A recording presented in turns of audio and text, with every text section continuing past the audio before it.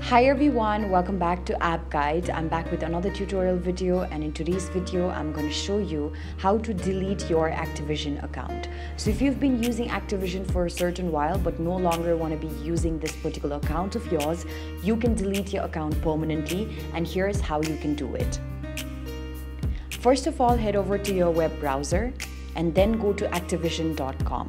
As you go to activision.com, make sure that you're already logged into your account. If you're already logged in, you can see that on the upper right hand side, there are three horizontal lines. So tap on the three horizontal lines.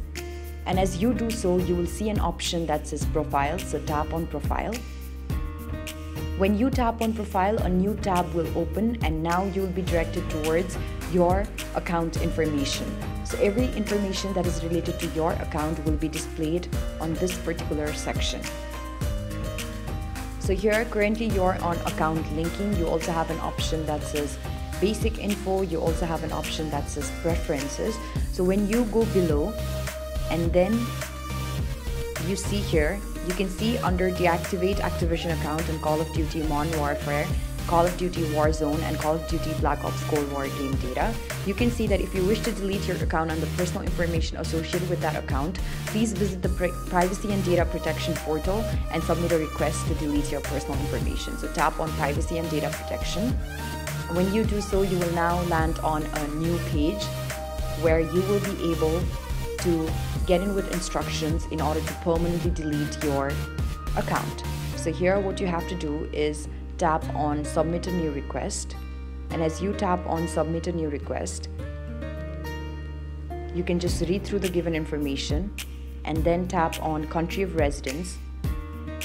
Choose the correct country of residence. Here I'm just going to scroll through and choose my current country of residence and then tick mark the terms and conditions and tap to proceed to privacy and data protection portal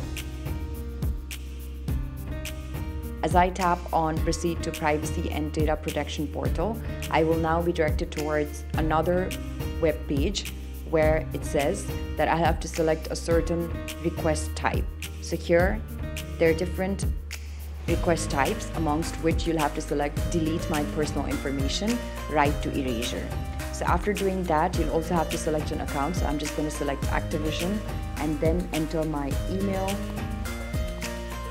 enter the correct email because otherwise your deletion process will just stop. And also enter your password. After doing this tap on login and now after doing this it says here that all personal information for linked accounts will be deleted upon submission of your request so scroll downwards tap on I am not a robot also tick mark the box that says I accept Activision's terms of use and then tap on delete my personal information that is right to erasure.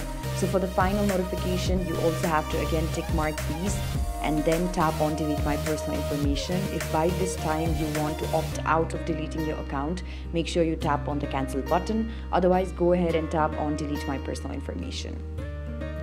Now, after you tap on delete my personal information, you will now be directed towards another page that will let you know that your request to delete personal information has already been sent.